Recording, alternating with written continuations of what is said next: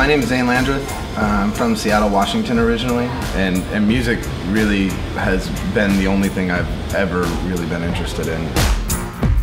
I would describe my sound as dark, uh, in a word. Yeah, I feel like growing up everybody has like a little dark phase, and I just don't think I ever got out of mine.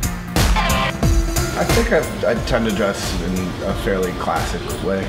You know, you look at any picture of like any like old Hollywood leading man or whatever, and everybody's like, you know, putting the best foot forward, and, and I, I find that fairly inspiring. I feel like LA, since it's so big and so spread out, and there's so much bullshit that you have to wade through to find something, something good, something honest. I think that it makes it that much more challenging and that much more rewarding.